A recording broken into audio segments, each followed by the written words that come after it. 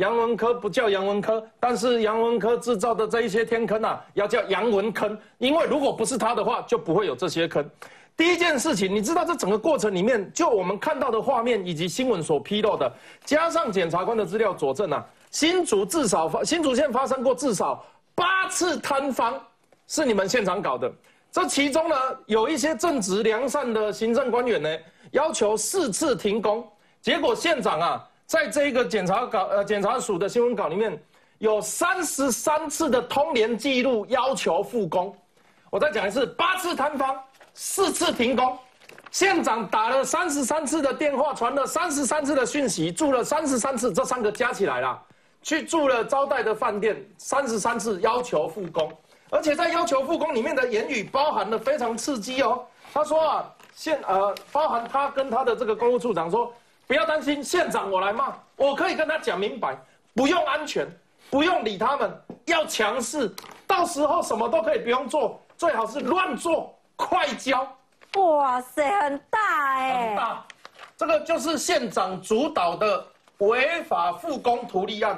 好，刚刚讲到钱的部分哦，你看到里面查到什么呢？杨文科县长官邸跟杨文科的住处，并且在县长室扣得现金十二万，金币一枚，金饰七枚。县长官邸扣得现金五十七万，在卧室化妆台扣得喜来登员工名片一张。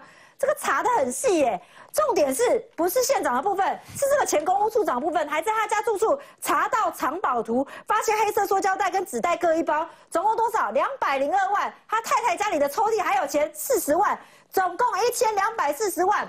这不艺术啊，怎么会处长拿的比县长还要来得多嘞？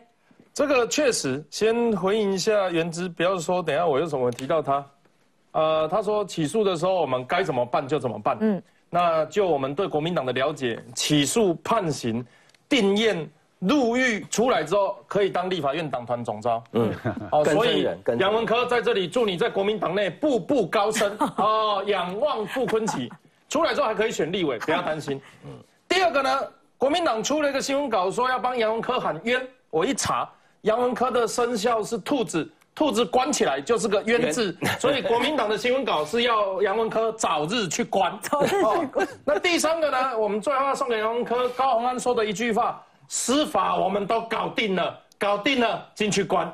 杨文科这一次的罪行涉嫌重大，那先要给新竹地检署一个一个肯定。啊，之前讲到，不管是蓝绿白哪一个政党的案子，我都说我们的检察署、检察机关在不滥权的情况下，本来就应该要这个尽其所能的发挥。这一次啊，新竹地检署出的新闻稿啊，成为今日政论来宾不分蓝绿白必读的课程。哦，考题在这哦，会考哦，长达十页，内容有多丰富呢？我简单讲讲几个重点给大家听。好，第一个啊，他指控四点。违反建筑规范以及违法复工，具体有实证。第二个，违法复工之外，还利用违法复工来图利。第三个叫做规避调查，甚至到做伪证。好，意思就是里面有一些他们党卡去做假假资料。嗯。第四个叫做财产来源不明。嗯。依据这四点，具体而详细的写出这到底是发生什么事情。简单讲啊。可以确定一件事，杨文科不叫杨文科，但是杨文科制造的这一些天坑啊，要叫杨文坑，因为如果不是他的话，就不会有这些坑。第一件事情，你知道这整个过程里面，就我们看到的画面以及新闻所披露的，加上检察官的资料佐证啊，新竹至少发新竹县发生过至少八次摊方，是你们现场搞的。这其中呢，有一些正直良善的行政官员呢，要求四次停工，结果县长啊。在这一个检察稿呃检察署的新闻稿里面，有三十三次的通联记录要求复工。我再讲一次，八次摊方，四次停工。县长打了三十三次的电话，传了三十三次的讯息，住了三十三次，这三个加起来了，去住了招待的饭店，三十三次要求复工。而且在要求复工里面的言语包含了非常刺激哦。他说啊，县呃，包含他跟他的这个公务处长说。不要担心，县长我来骂，我可以跟他讲明白，不用安全，不用理他们，要强势，到时候什么都可以不用做，最好是乱做，快交。哇塞，很大哎，很大，这个就是县长主导的违法复工图利案。第二个图利是什么呢？它里面还讲，不论谁打电，里面有一个外包的审查委员，嗯，他说啊，你们很多人打电话来的啦，啊，不论谁打电话来啊，一定要把真正的问题解决才能复工。结果这个人就被当做问题解决了，就跳过他了。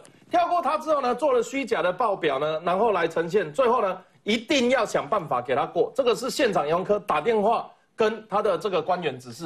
一定要想办法给他过，嗯，而这过了之后呢，待待会第四点会讲到收受利益的关系，所以呢，据此，呃，这个就是有滥用职权，而且要求行政官员配合。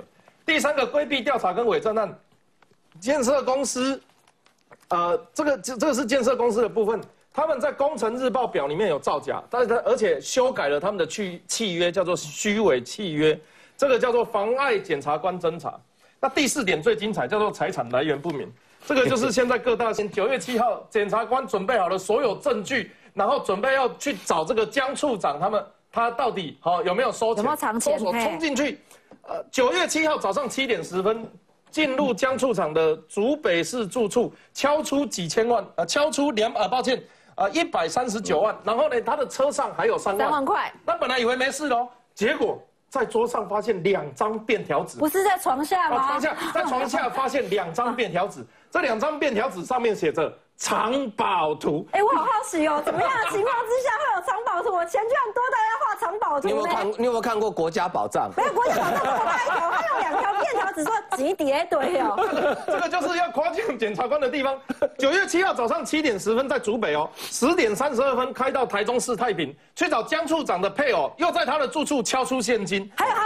然后在下午两点半再把车子折返到苗栗市卓兰镇。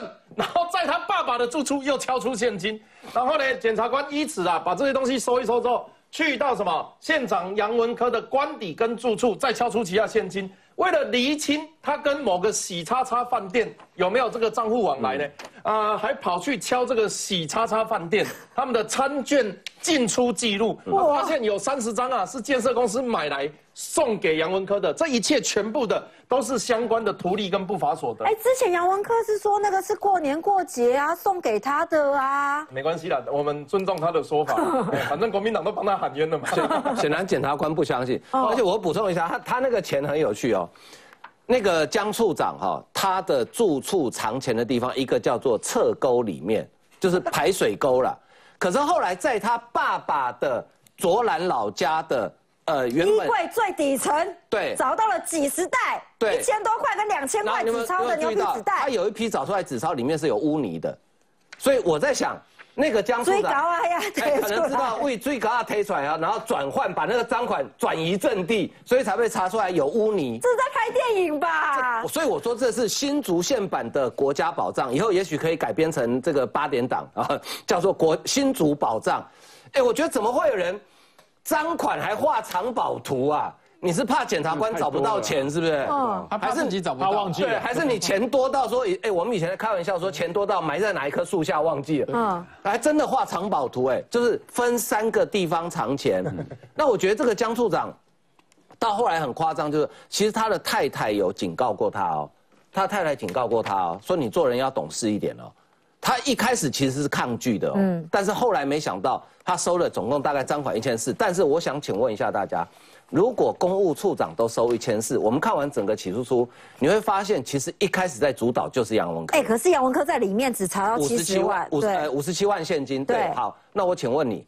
如果公务处长可以拿一千四，而杨文科如果真的拿五十七万的话，没有啦，是县长是十二万，官邸有五十七万，加起来快六十万，快六十万。杨文科如果最后真的只收这六十万，然后收到那个也没也不怎么值钱，喜来登餐呃这个喜叉叉餐厅，我我跟你讲，我知道他现在为什么不接电话，因为他很生气啦。六万，你看就重新买，我老咋办？你是动作我管定一下。你动的话送他吗？借势借端，对不对？处长借借借我县长的名义吗？但是大家以上我讲的，你觉得合理吗？啊，如果处长收一千四，你觉得县长会只收六十万吗？所以为什么检察官要另案侦办？